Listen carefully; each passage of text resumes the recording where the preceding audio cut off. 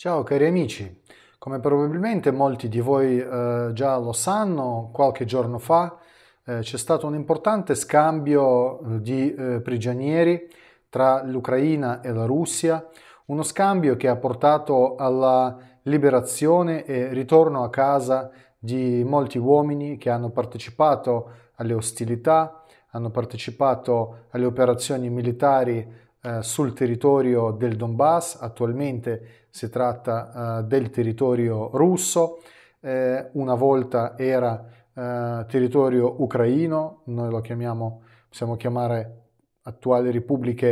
eh, della Russia oppure ex Donbass ucraino. Lì in prima linea, come sapete, va avanti la guerra, è normale che eh, durante la guerra ci sono situazioni quando eh, i militari sia da una parte che dall'altra finiscono eh, in prigionia. Bisogna dire che ultimamente eh, molti cittadini ucraini eh, si arrendono ai russi, c'è un proprio fenomeno diffuso soprattutto tra i militari che vengono reclutati contro la loro volontà, che non vuole combattere, chi non eh, vede se stesso come un difensore dei valori di Zelensky, delle oligarchi occidentali, quelli che preferiscono, uh, una volta finiti in prima linea, uh, alzare le mani e andare verso i russi chiedendo di essere salvati da questo matatoio. Bisogna dire che qua si tratta di persone eh, ai quali manca la motivazione per la guerra ovviamente, mentre dall'altro canto ci sono molti prigionieri che i russi hanno preso durante la battaglia di Mariupol. Si tratta ovviamente di eh, nazifascisti dei vari battaglioni nazisti ucraini come Azov eh, e altri simili. Loro eh, vengono, eh, diciamo, ehm, separati da altri prigionieri, molti di loro sono stati già sottoposti a uh, un rigido uh, sistema uh, di giustizia, soprattutto nella Repubblica di Donetsk. Bisogna dire che lì queste persone hanno com- com- commesso la gran parte dei crimini. Si tratta sicuramente di crimini di guerra, si tratta di torture, uccisioni dei civili e molti di loro sono stati già messi in prigionia. Io qualche volta sul mio uh, canale Telegram parlo di questo o anche qua uh, su YouTube uh, diverse volte ho raccontato già queste situazioni. Comunque alcuni di questi personaggi ancora ci sono nella prigionia russa e poi ci sono tanti militari, militari ucraini che non facevano parte dei riparti diciamo nazionalistici, però comunque sono sempre eh, di eh, una forza che combatte per gli interessi del nazismo oggi e questa gente eh, è stata scambiata con i militari russi. Eh, questo scambio è stato organizzato eh, grazie alla partecipazione molto attiva degli Emirati Arabi Uniti, eh, le trattative tra delegazione russa e delegazione eh, ucraina sono svolti sul territorio eh, degli Emirati Arabi Uniti, a Dubai, eh, ci sono stati organizzati diversi colloqui segreti. Bisogna dire che sono arrivati a un buon punto. Um, ovviamente la parte ucraina ha accettato, uh, diciamo, uh, le, uh, quelle che sono le regole um, posti dai russi Uh, qua bisogna dire che gli ucraini avevano tutto interesse di eh, fare eh, questa specie di scambio di prigionieri per due motivi. Uno perché eh, l'Ucraina è in difficoltà, in difficoltà economica e qualsiasi peso sul bilancio ucraino è molto evidente. Loro fanno fatica ormai a pagare addirittura gli stipendi a um, funzionari governativi loro hanno annunciato che senza eh, aiuti statunitensi che abbondantemente arrivavano in Ucraina eh, in, nei due anni precedenti e che sono diminuiti, come ben sapete tutti, eh, quest'anno, fi- eh, la fine, perdonatemi, dell'anno scorso e all'inizio di quest'anno, ehm, loro si trovano in difficoltà e lo dicono apertamente. Eh, ci sono diversi politici ucraini, anche una, un alto funzionario ehm, del Ministero del Tesoro ucraino ha, di recente ha parlato, ha fatto una, una discussione davanti al Parlamento e poi ha parlato anche con giornalisti, spiegando che in pratica l'Ucraina non è più in grado di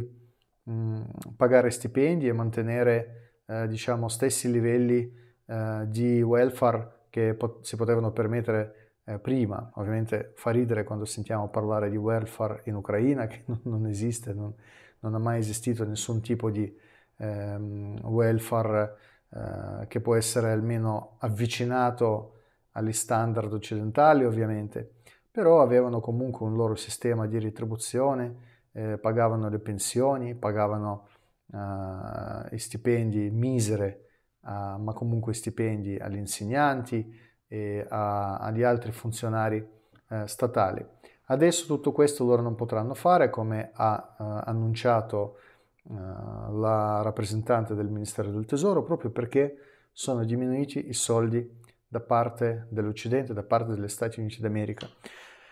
Quando io precedentemente parlavo del fatto che l'Ucraina è un paese collassato, io intendevo proprio questo. Un paese non è in grado di mantenere se stesso, un paese non è di grado di mantenere una struttura statale che eh, serve a un qualsiasi paese che vuole essere indipendente. Quando si parla dell'indipendenza si presuppone che c'è una struttura statale che eh, organizza un certo livello di vita,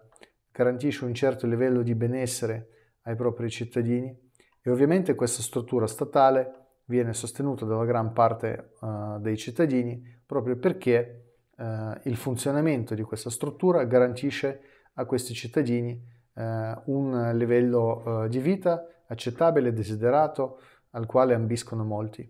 E in Ucraina tutto questo non c'è, non esiste, è stato eliminato, cancellato. in Ucraina esiste adesso un regime, un regime militare eh, un regime nazifascista, ehm, perché l'idea di questo regime è inerente al nazismo hitleriano della seconda guerra mondiale, ci sono le organizzazioni che governano in Ucraina ehm, e il uh, presidente Zelensky è un fantoccio di queste organizzazioni, dipende da loro, non può andare contro la loro volontà. Queste organizzazioni sono direttamente legate a fenomeni come una UNSO, UPA eh, e altre organizzazioni naziste ucraine eh, risalenti ai tempi eh, del collaborazionismo ucraino con la Germania nazista, con il Terzo Reich di Adolf Hitler. Quindi qua si parla non del neonazismo, qua si parla del nazismo eh, che ha le radici eh, storiche nella Germania nazista e quindi eh, quando si parla che, del fatto che in Ucraina c'è un regime nazifascista, è proprio così che deve essere chiamato questo tipo di regime, non, non c'è un'altra parola non è un neonazismo, non è un regime radicale, non è estrema destra e così via, è un, regi- un regime nazifascista. E questo regime ovviamente adesso è in difficoltà, eh, non riesce a mantenere eh, il livello eh, di garanzie sociali che qualsiasi regime nazifascista dovrebbe ehm, garantire al popolo. Voi ricordate che ancora quando Adolf Hitler ha creato il Terzo Reich, eh, il suo eh, grande sostegno da parte del popolo tedesco era dovuto proprio alla capacità dei nazisti di creare delle garanzie sociali. Ovviamente queste garanzie sociali i nazisti eh, all'inizio hanno eh, potuto eh, ampliare e applicare grazie ai soldi eh, delle classi elevate che hanno sostenuto il nazismo nella chiave anticomunista. E poi dopo eh, i nazisti hanno eh, applicato e mantenuto queste garanzie sociali grazie alle ricchezze che hanno guadagnato eh, derubando eh, le ricchezze da altri paesi. Quindi espandendo il proprio potere, sfruttando gli impianti industriali, le risorse dei paesi altrui. E questo ha permesso a Hitler di trascinare un po' più avanti nella storia il suo regime che senza questo tipo di propulsione predatoria non sarebbe potuto esistere, si sarebbe eh, diciamo, istinto molto prima dell'inizio della seconda guerra mondiale. Eh, L'Ucraina non può fare uh, altrettanto. Per quale motivo? Perché l'Ucraina non è la Germania, Zelensky non è Hitler, è, è, è troppo ignorante, è un pagliaccio. Dietro ci sono gli oligarchi anglosassoni che non sono interessati di trasformare l'Ucraina in un vero e proprio terzo Reich. L'Ucraina è una caricatura. L'idea nazifascista serve solo per uh, tenere, uh, diciamo, incollati insieme tutto un gruppo di uh, persone con idee radicali, ai quali, um, per, per i quali è molto importante dedicare la propria vita al danneggiamento della Russia.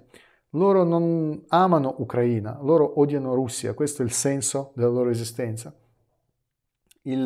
la base del loro nazismo eh, è in questa, eh, diciamo, si riassume in, eh, in questa uh, formula. Odiare i russi prima ancora di amare se stessi o la propria nazione. E proprio questa, uh, questo odio viene sfruttato dagli uh, anglosassoni. Io tra l'altro questa cosa spiego nel mio libro che vedete dietro alle mie spalle, che mm, proprio per questo motivo si chiama La guerra e l'odio. Io racconto la storia della nascita di questo fenomeno, uh, operando ovviamente dai fatti storici, da tutto quello che mh, mm, da noi in Occidente la storia ufficiale gestita attraverso un severo prisma di propaganda anglosassone non ci racconta. La gran parte eh, dei cittadini europei, con i quali, dell'Europa occidentale io intendo, con i quali ho potuto comunicare, anche professori, persone che si occupano della storia professionalmente, ad esempio non ho mai sentito eh, dell'esistenza dei campi di concentramento come mh, mm, dove eh, sono stati sterminati durante la prima guerra mondiale tantissimi russi, e, mh, mm, o ad esempio Teresin, un altro campo di concentramento dove sono stati massacrati tantissimi russi, sempre per gli interessi degli anglosassoni, per gli interessi dei poteri occidentali. Eh, tutto questo eh, fa parte di storia che eh, qua in Occidente non eh, raccontano alle persone, storia nascosta, eh, perché ovviamente la gran parte degli occidentali deve piegarsi di fronte agli anglosassoni come di fronte ai grandi difensori della democrazia, giusti, unico popolo che sa cosa fare, popolo benedetto da Dio e ovviamente come tutti i popoli che credono di essere benedetti da Dio e credono di avere più diritto degli altri di intervenire nella storia, come vediamo, vediamo adesso ad esempio avvenire eh, tra Israele e Palestina, dove israeliani, o meglio dire sionisti, credono di essere prescelti di Dio e quindi non si fermano di fronte a niente perché credono che a loro è permesso qualsiasi cosa. Eh, la stessa cosa ovviamente se la sentono anche eh, anglosassoni. Per questo motivo nella loro idea l'Ucraina può essere completamente sacrificata nel fuoco della, guerra. Della guerra. Loro non sono interessati di mantenere la struttura, far eh, investire in questo paese, realmente trasformare questo paese in un paese fiorente. Per loro l'Ucraina è un luogo di battaglia, un Armageddon contro la Russia. Se brucia tutto e moriranno tutti in questa guerra, pazienza, ci metteranno una grande pietra e poi racconteranno delle storielle nella loro propaganda um, di come loro aiutavano a coraggiosi, orgogliosi ucraini a difendere la loro indipendenza. Insomma, eh, il senso quindi di eh, ciò che sta avvenendo in Ucraina è che l'Ucraina si trova oggi in grave difficoltà economica. Questa difficoltà economica ovviamente eh, agli ucraini eh, non permette di mantenere eh, tutti quei prigionieri russi che hanno, non hanno tantissimi però hanno oh, qualcuno e anche il loro stesso ehm, apparato sia bellico che civile è molto costoso. Noi vediamo come in Ucraina ci sono tantissimi eh, cittadini che vengono catturati, sequestrati per strada dai commissari di reclutamento di Zelensky, vengono mandati in 448 in prima linea a combattere e morire eh, per causa anglosassone. Tra l'altro ci sono diversi video, io alcuni condivido sul mio canale privato Telegram, se siete eh, curiosi vi invito come sempre di abbonarvi al canale, il link per abbonamento troverete nella descrizione di questo video. Io di recente ho pubblicato un video di un signore eh, ucraino che tra l'altro ha una uh, patologia uh, molto uh, grave, ha problemi con, um, sul sistema eh, gastrointestinale, eh, che non, non, sono problemi diciamo, risolvibili dal punto di vista eh, di intervento, sono ormai, è una situazione che lui trascina per tutta la vita, ha delle ulcere aperte che sanguinano, quindi questa persona dovrebbe ricevere eh, aiuti farmacologici, dovrebbe essere curato, invece lui è finito in prima linea contro la sua volontà. Eh, per fortuna lui e i suoi compagni, che sono simili, eh, con le storie simili, persone eh, catturate per strada contro la loro volontà, con la forza, mandati in prima linea, hanno deciso di andare dai russi e arrendersi. E quindi Uh, questa, diciamo, mh, mm, da questo video si capisce e si comprende la realtà attuale di ciò che sta avvenendo uh, all'interno dell'Ucraina dal punto di vista di arruolamento. E proprio per questo motivo il, mm, l'impianto civile in Ucraina viene messo sempre di più da parte, i civili vengono visti solo e soltanto come una risorsa per la guerra e ovviamente per questo motivo eh, gli ucraini cercano di disfarsi dei prigionieri e eh, di far ritornare i loro militari indietro perché loro eh, sono ehm, in grave difficoltà. Come recente hanno affermato anche diversi esperti militari, Uh, di recente ha parlato di questo anche un generale tedesco in un suo articolo che io sempre ho condiviso, ho tradotto, ho condiviso sul mio canale privato Telegram. Mm, il problema principale e che in Ucraina non sono rimasti quasi più i militari esperti. Quelli che combattono in prima linea, la gran parte di loro non sono militari esperti, ma sono persone arruolati contro la loro volontà. Quei 200.000 eh, militari dei quali era composto l'esercito ucraino, eh, addestrato dalla Nato e aveva quel nucleo di professionalità è stato quasi completamente distrutto dai russi. Non c'è più, non sono più vivi queste persone. Quindi questa è la tragedia ovviamente. Per cui per gli ucraini è molto importante far tornare indietro dalla prigionia russa i loro prigionieri. Per questo motivo gli ucraini hanno accettato eh, tutte le condizioni dei russi, che bisogna dire eh, sono, sono, stati abbastanza svantaggia- eh, svantaggiati. Um, e, ehm, in questo senso gli ucraini hanno, eh, non hanno avuto nessuna scelta, hanno dovuto accettare queste condizioni eh, pur di disfarsi dei prigionieri russi e riportare indietro i propri militari che bene o male sono esperti eh, e potranno magari adesso ritornare di nuovo in prima linea. Io sono sicuro al 100% che così sarà che tutti i militari che sono tornati adesso in Ucraina, tempo di magari un mesetto li faranno un po' riprendersi e poi dopo li manderanno di nuovo a combattere. E la cosa comunque interessante che è immersa eh, tra, da questa, uh, questo scambio di prigionieri è um, una uh, particolarità che mi ha incuriosito um, e in qualche modo ha sollevato parecchie riflessioni che io volevo condividere con voi. Eh, magari qualcuno di voi conosce, probabilmente sì, molti di voi conoscono il sito online che si chiama Miratvorец, eh, è un sito um, funzionale eh, sulla, uh, online uh, creato sulla piattaforma ucraina e gestito da servizi segreti ucraini il suo creatore si chiama Anton Gerashenko. Anton Gerashenko è un politico ucraino nazista, una persona che mh, mm, ha fatto parte eh, dei servizi ucraini, come sapete una, uno che entra nei servizi eh, in un modo o nell'altro rimane legato per il resto della vita. In effetti questo sito hanno chiamato una kill list, cioè una lista uh, per gli omicidi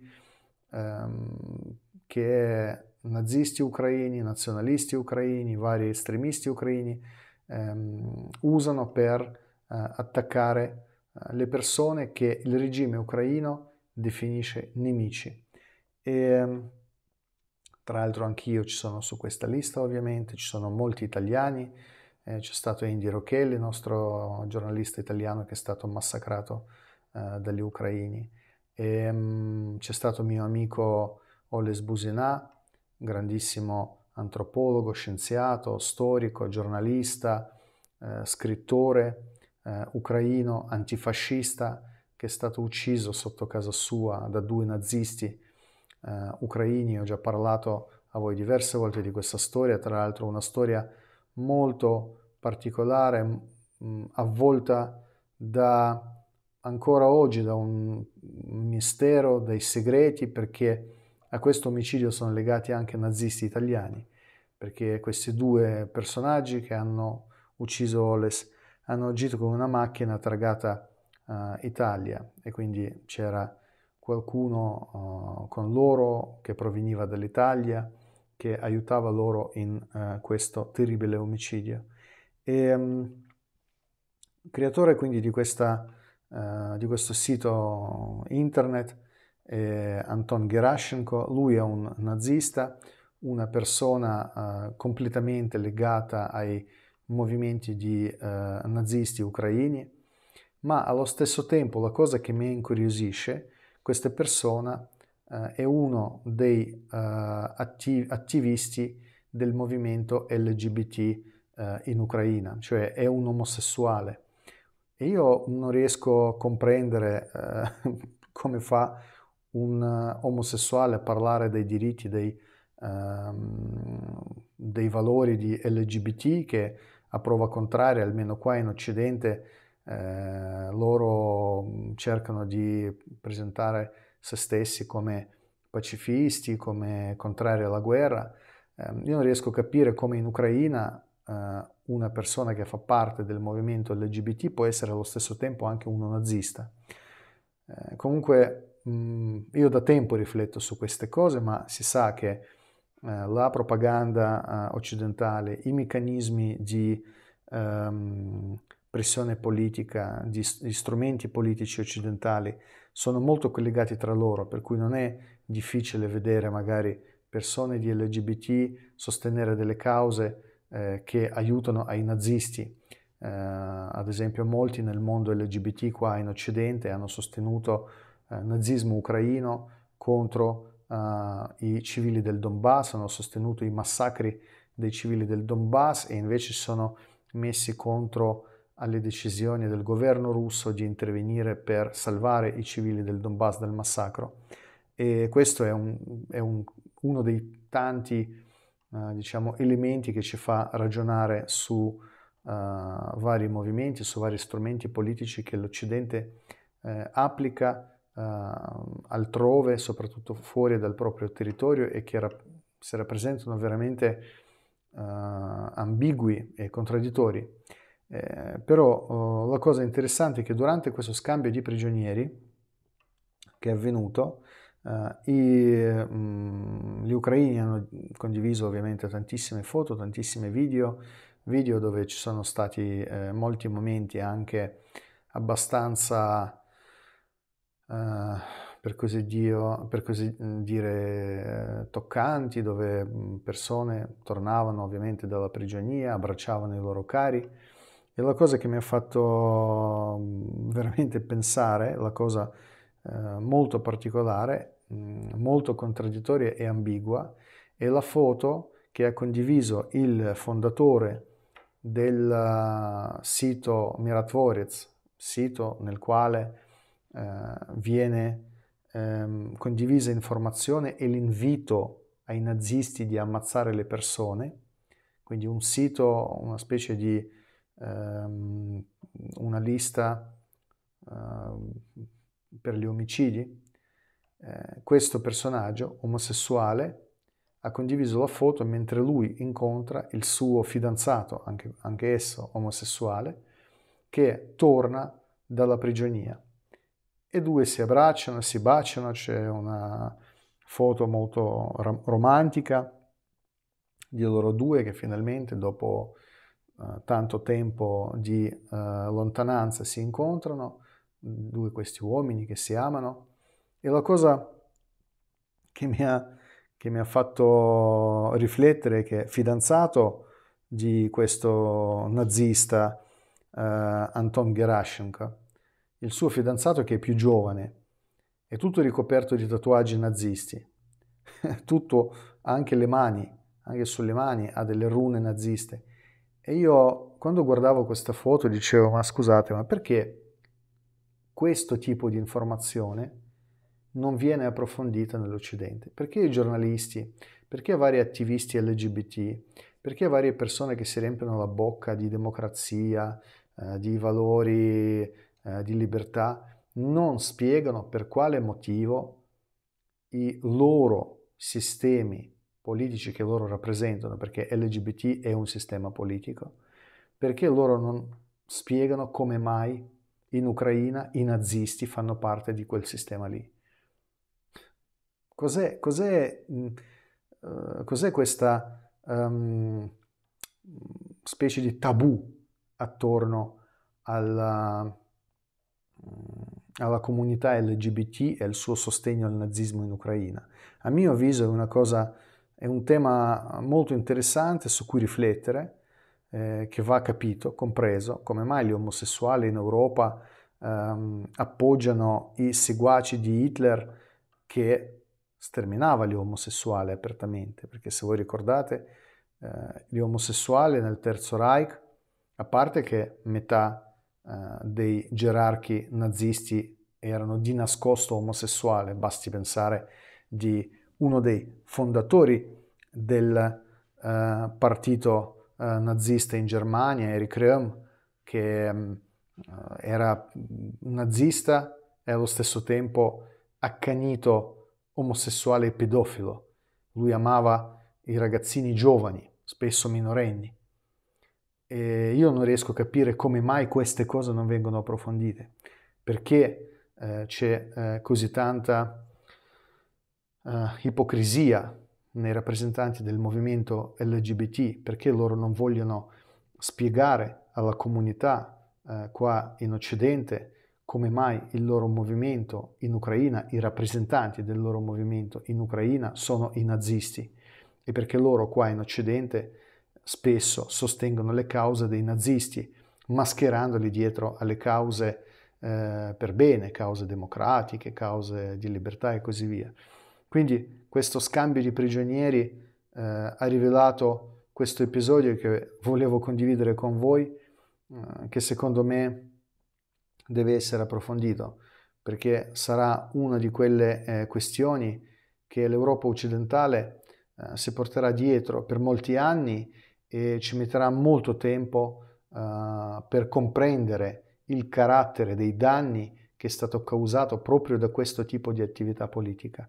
Va bene amici, io vi ringrazio per essere stati qui con me, vi invito come sempre di approfondire queste tematiche che io affronto, che sono scomode, che sono censurate eh, qua in Occidente, sul, sul, sul mainstream eh, occidentale, italiano in particolare. Vi invito di approfondirlo sul mio canale privato, il link per abbonamento troverete nella descrizione di questo video. Se volete sostenermi su YouTube, come sempre vi invito di, di iscrivervi al mio canale di eh, commentare i miei video e condividere i miei video con i vostri amici. Qua alle mie spalle c'è il mio libro che si chiama La guerra e l'odio. Si tratta di un libro in cui io cerco di raccontare le origini della guerra in Ucraina. Se vi interessa eh, questo eh, fenomeno, questa tematica, leggetelo e poi fatemi sapere cosa ne pensate. Carissimi, vi mando un forte abbraccio e vi voglio bene.